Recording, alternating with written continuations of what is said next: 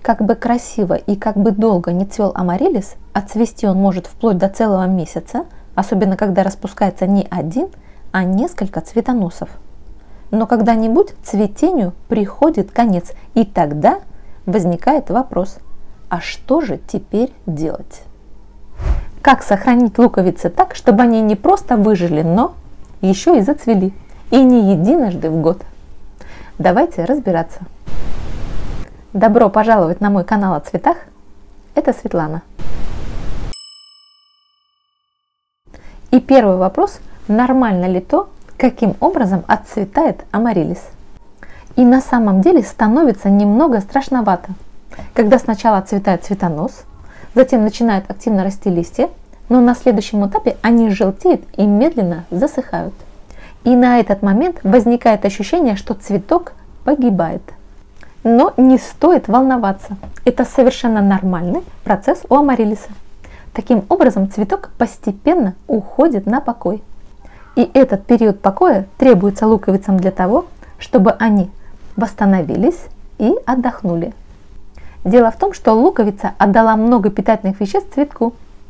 И если ей не обеспечить должного отдыха, то к сезону она не наберется сил, будет слаба и навряд ли зацветет.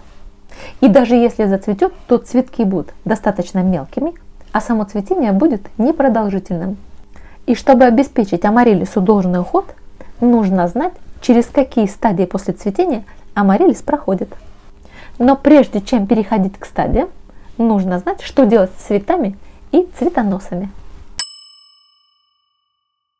Так вот, если вы сразу не срезали цветонос, а цветы амарилиса одинаково хорошо стоят как в горшке, так и в срезке в вазе. Так вот, если э, в цветке цветы завяли, то их нужно срезать чистым секатором или ножом. Срезать цветки нужно в месте, где они соединяются с главным стеблем. То есть нужно обязательно срезать этот маленький стебелек, на котором и сидит сам цветок. И если это не сделать, то в этом стебельке начинается процесс образования семян. И следующим этапом, когда завянут все цветы, нужно срезать цветонос. Сам по себе цветонос выполняет функцию поставщика питательных веществ из луковицы к цветам. И если цветов нет, цветы все завяли, то и функция цветоноса отпадает. В результате цветонос начинает быстро желтеть и увядать. Но ждать этого не нужно. Его нужно срезать вместе с обрезкой последнего цветка. Обрезать цветонос нужно близко к основанию. И самое оптимальное расстояние от луковицы составляет 4-5 см. Но при обрезке будьте осторожны, чтобы не повредить листья и верхушку луковицы. В это же время увядание цветков начинают активно расти и развиваться листья. И вот тут и начинается первая стадия, через которую проходит амарилис – и эта стадия называется стадия восстановления. Эта стадия восстановления длится до наступления стадии покоя. И сразу возникает вопрос, каким же образом цветок может восстанавливаться, не уходя в состояние покоя. Все очень просто. Все дело в листьях. Когда листья засыхают естественным путем, то происходит медленный отток питательных веществ из листьев в луковицу. А что же получается, когда листья обрезают? Питательные вещества из листьев в луковицу не поступают, то есть луковица лишена полностью всякого питания, в результате чего луковица может просто засохнуть. В таком случае о каком последующем цветении может идти речь, если луковица уже засохла и не живая вовсе? Давайте не делать таких ошибок. Повторюсь еще раз, листья должны засохнуть естественным путем, и тогда питательные вещества из листьев точно перейдут в луковицу. При этом нужно прекратить любые подкормки. И нужно начать постепенно сокращать полив. И не только частоту полива, но и объем вливаемой жидкости. Когда листья полностью пожелтеют и засохнут, то растение само по себе постепенно перейдет в стадию покоя. А это и есть та вторая стадия, через которую проходит амарилис после цветения. Итак, Стадия покоя наступает тогда, когда все листья на растении засохнут. И сразу возникает вопрос, что же нужно делать с луковицей для того, чтобы амарилис снова зацвел. Существует два способа. Способ первый. Оставляем луковицу в том же горшке, не выкапывая ее из земли. И так как луковица остается живой, живыми корнями, то ее нужно изредка поливать.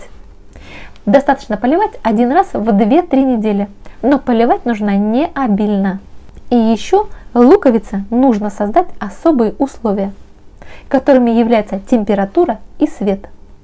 Самая оптимальная температура для отдыхающих луковиц – это температура от плюс 5 до плюс 12 градусов Цельсия, а свет им вообще не нужен. Поэтому можете смело ставить горшок с амарилисом в кладовку, на балкон, но притенять от света, либо же, например, в отапливаемый гараж. В таком состоянии нужно продержать луковицу амарилиса в течение двух месяцев, но лучше 4 месяца. И постарайтесь не забывать о ней и контролировать температуру, потому что температура не должна падать ниже 0 градусов Цельсия. Дело в том, что луковица амарилиса не переносит даже кратковременного падения температуры. Способ второй. И заключается он в том, что луковицы амарилиса нужно выкопать из земли и хранить их в сухой таре. Хранить нужно точно так же в прохладном помещении при температуре от 5 до 12 градусов Цельсия и без света. И аналогично первому способу нельзя допустить, чтобы луковицы засохли. Их нужно периодически увлажнять. Для этого нужно слегка намочить хлопчатобумажные полотенца или салфетки и обернуть их вокруг луковиц и оставить таким образом на пару часов. Вот оставлять эти мокрые полотенца на долгое время на луковицах нельзя, потому что начинает развиваться плесень и другие грибковые заболевания. Эту процедуру нужно повторять раз в неделю. Вот в таком состоянии нужно продержать луковицы минимум в течение двух месяцев, а лучше держать их так 4 месяца. И следующий вопрос, что же делать, когда закончится период покоя? Когда период покоя закончится, горшки с отдохнувшими луковицами нужно вынести в хорошо освещенное место. А те луковицы, которые были выкопаны, их нужно посадить. Но помните, что во время посадки не нужно брать большие горшки, потому что в таком случае начинают развиваться детки. А если детки уже есть на луковице, то эти детки нужно отделить и посадить их отдельно. Дело в том, что детки тянут из луковицы очень много питательных веществ.